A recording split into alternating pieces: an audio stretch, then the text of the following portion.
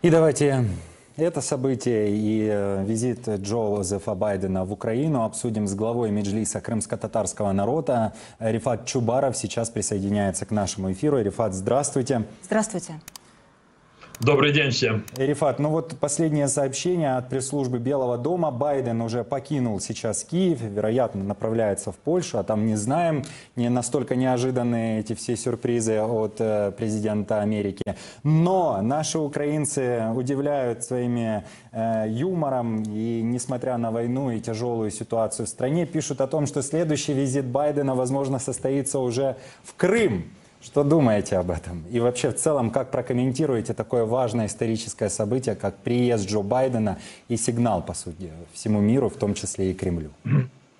Вообще сегодня такой очень замечательный, хотя э, и очень грустный, э, исходя из э, того, что э, в 2014 году, именно 18-20 февраля, здесь на Майдане Незалежности э, были убиты большинство э, э, участников революции достоинства. Но сегодня 20 февраля, День Героев Небесной Сотни. Сегодня начало российско-украинской войны 20 февраля 2014 года. Россия практически приступила к практическим действиям по вторжению, что завершилась оккупацией Крыма, и началом военных действий на Донбассе. И сегодня, 20 февраля, Киев, столицу Украины, противостоящей российской агрессии уже 9 лет, Э, приезжает президент Соединенных Штатов Америки.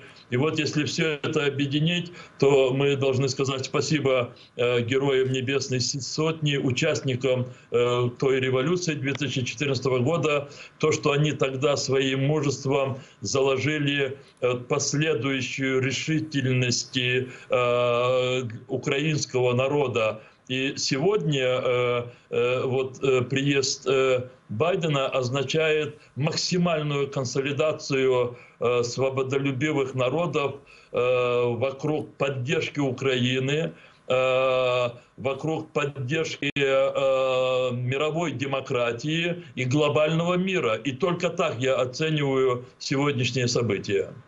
Да, вы знаете, хочется добавить, вы сказали, вспомнили также героев сотни.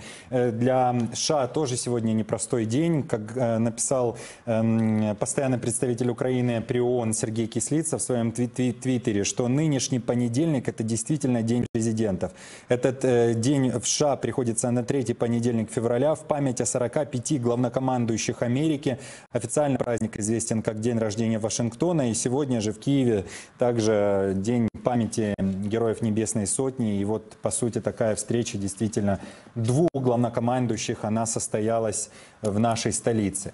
Что ж, и о Крыме давайте говорить. Вот наше включение мы начали э, разговором о том, что звучало на территории Мюнхенской конференции по безопасности. Территориальных уступок врагу не будет, об этом шла э, речь, э, собственно, в Мюнхене. Эм, что думаете о заявлениях МИДа Украины и позиции США в этом вопросе? Мне представляется для нас э, очень важно э, уяснить главные итоги, э, которые которыми характеризуется Мюнхенская конференция по безопасности, только что завершившая свою работу. Первый э, итог это, опять же, я буду употреблять это слово, максимальная консолидация в оказании военной помощи Украине в ее противодействии российской агрессии. Не буду детализировать в разных э, формах об этом очень много говорилось. Тут и танки, тут и обучение пилотов э, для F-16 и многое другое.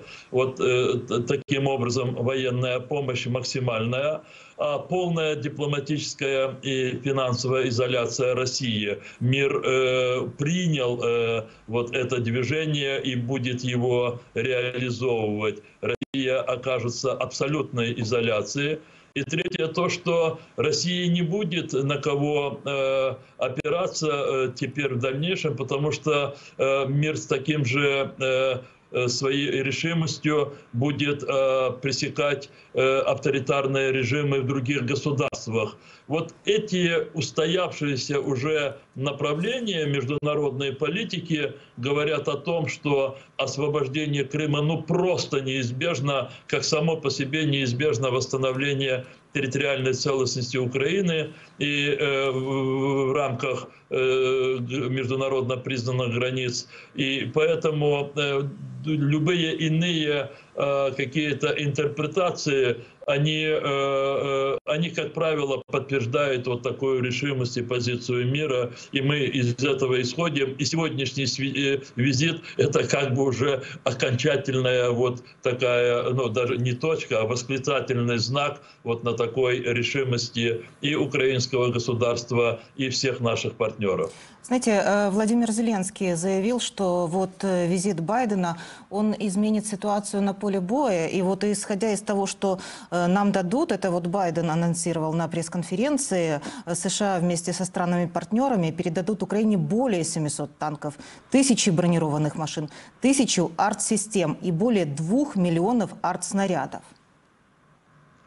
Да, сам по себе визит как очень важная а, явление, э, он, конечно, не способен э, изменить ход войны, но результаты этого визита, и об этом уже Байден начал говорить в Киеве, и все то, что связано с поставкой вооружения, боеприпасов, это все создает абсолютные предпосылки для более успешных, но просто победных действий вооруженных сил Украины, и поэтому, конечно, это этот э, вывод о том, что э, визит э, Байдена, э, президента Соединенных Штатов Америки, э, в Киев, он открывает дорогу к э, победным действиям вооруженных сил Украины, этот вывод абсолютно правильный. Да, Рифат, и сегодня глава МИД Украины э, Дмитрий Кулеба также сказал, что эм, этот визит Джозефа Байдена в Киев – это, по сути, четкий сигнал на болота.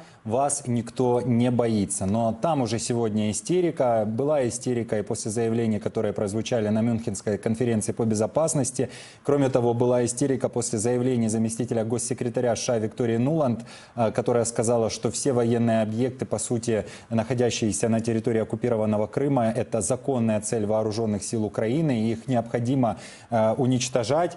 Дальше была странная реакция российских пропагандистов, которые, по сути, признали, что сейчас э, Крым настолько э, милитаризирован, и там так много этих э, военных объектов, что не знают, как быть с этими словами. Что думаете в целом о милитаризации полуострова за эти 9 лет?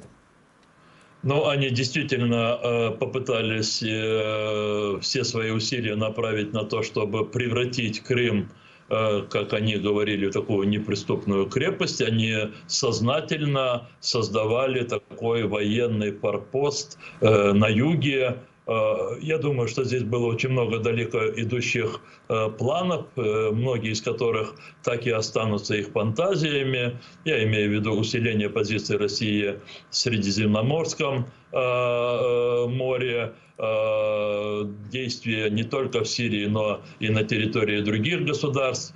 Э, я думаю, что здесь они предполагали таким образом диктовать волю, но в том числе и НАТО, поскольку на Черном море на сегодня три Э, страны, члены НАТО, Турция, Болгария, Румыния, но, видимо, уже недалек тот час, когда к ним добавится Украина. И поэтому Крым они э, просто напичкали современным Э, и э, а, своим оружием. Рифат, а что вы э, скажете о том, что большое количество боеприпасов, они по сути сами признали, что располагали практически между жилых кварталов, в местах, где живут люди. Это ведь террористическая тактика, палестин, палестинская Видите, тактика они максимально, видимо, использовали ту инфраструктуру, которая оставалась еще со времен Советского Союза. Они ее восстановили, в том числе склады специальные.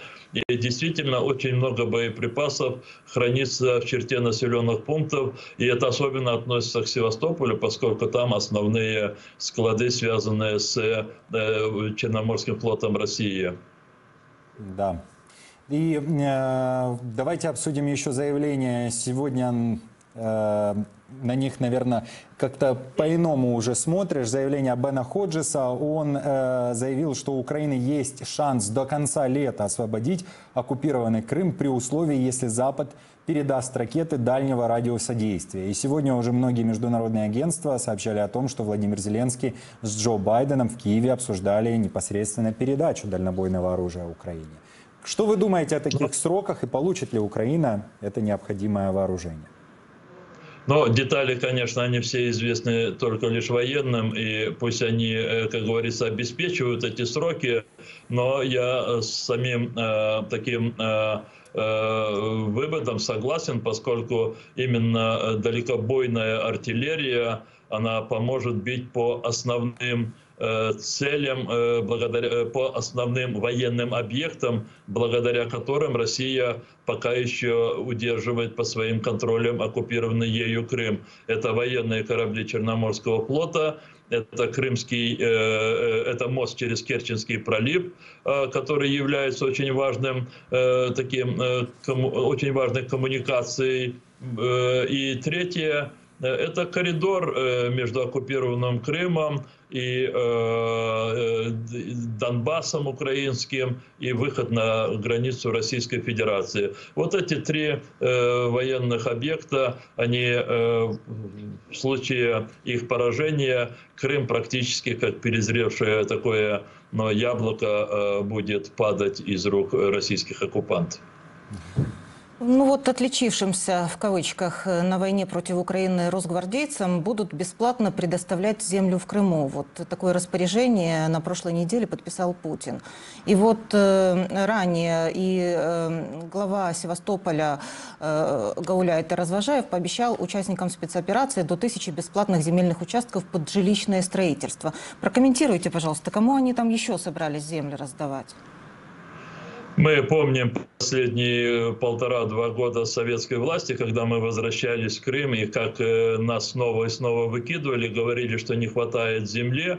И мы сейчас видим, как российская оккупационная власть э, разбрасывается нашей, без всякого пафоса, э, землей крымских татар.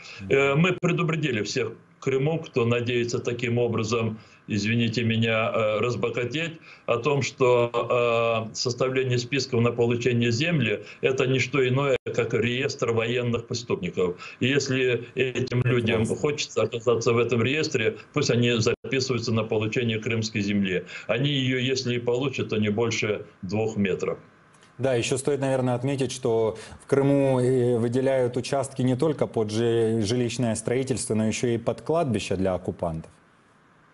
Ну да, это э, потому что Крым является своеобразным хабом, не, не только в одну сторону. Отсюда э, поставляют боеприпасы, э, технику, которая прибывает, собственно, с территории России по мосту через Керченский пролив, э, и отсюда переправляют их в Херсонскую область, Запорожскую, оккупированные территории этих областей. оттуда привозят э, тела убитых русских солдат, и часть из них хоронят в Крыму. Рифат, давайте обсудим еще события с вами, которые происходят в Джанкойском районе. Там известно, что оккупанты по объявлениям сейчас набирают работников для благоустройства окопов. На обочинах лежат так называемые эти зубы дракона, оборонительные пирамидки. В Севастополе даже установили, говорят, системы противовоздушной обороны на крыше здания.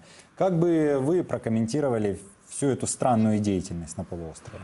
Мне представляется, что это больше рассчитано на то, ну, как бы пропагандистских таких целях, чтобы как бы успокоить э, жителей Крыма, особенно э, собственных сторонников, тех, которые поддерживали и остаются сторонниками российских оккупантов, поскольку мне трудно себе представить, хотя, опять же, военным это лучше знать, о том, что э, будет такое фронтальное наступление танками, артиль... э, танками машинами, э, военнослужащими по всему ну, фронту. Э, я думаю, что здесь все-таки будут задействованы современные виды оружия, но э, в то же время вы абсолютно правы, э, многие э, паблики крымские, они заполнены объявлениями, где приглашают людей для вот, работ по сооружению фортификационных укреплений. По-моему, там от 3000 рублей в день они обещают им платить. Рифат, ну и давайте еще поговорим с вами о э, имуществе украинцев э, в Крыму. Мы говорили уже только что о земле, но также стало известно, что под так называемую национализацию э, в Крыму попали уже 700 объектов украинской собственности. Украина работает сейчас над механизмом возвращения имущества после деоккупации Крыма. Э, процесс возвращения освобожденного Крыма в политическое, правовое и социально-экономическое и культурное поле Украины будет отличаться от Харьковского и Херсонского вариантов. Об этом заявила вице-премьер-министр Украины Ирина Верещук. Вот вы уже начинали наш разговор и вспоминали о том, что по сути уже Крым находится под российской оккупацией 9 лет. За это время вы также говорили, что большое количество россиян заехало на полуостров, там обживалось все эти годы. Существует ли сейчас некая программа разработки того, как этих россиян возвращать на их территории с нашей украинской земли? Но э, сейчас обговариваются разные подходы, и это уже хорошо. Было проведено совещание э, у вице-премьер-министра госпожи э, Ирины Верещук. Вот сегодня после э, обеденного времени мы встречаемся членами Межлиса Крымстатского народа э, постоянном представительстве президента Украины в Автономной Республике Крым. Э, мы встречаемся с другими нашими партнерами и обсуждаем э, эти подходы. В любом случае, наша позиция, она абсолютно проста и ясна. Все правовые, все действия, которые совершались э, недвижимостью, в том числе землей в Крыму, с 27 февраля 2014 года, а это решение Европейского суда по правам человека, что Россия с этого дня контролирует ситуацию в Крыму, все эти действия юридически никчемны. И, соответственно, такое будет наше отношение, и так, ну, э, наша оценка, и отсюда отношение к собственности э, или вновь построенным в Крыму, или к тем, э, кто недвижимой собственности, которая э, ну, перемещалась из одного собственника в другое. Мы будем возвращаться к ситуации 2014 года. Рифат, спасибо вам большое за ваши комментарии, за то, что вместе с нами следите за всеми событиями в Украине и мире и говорили об этом визите историческом Джо Байдена в Украину. Напомню нашим зрителям, Рифат Чубаров, глава Меджлиса крымско-татарского народа, был с нами в эфире Фридома. Всего доброго.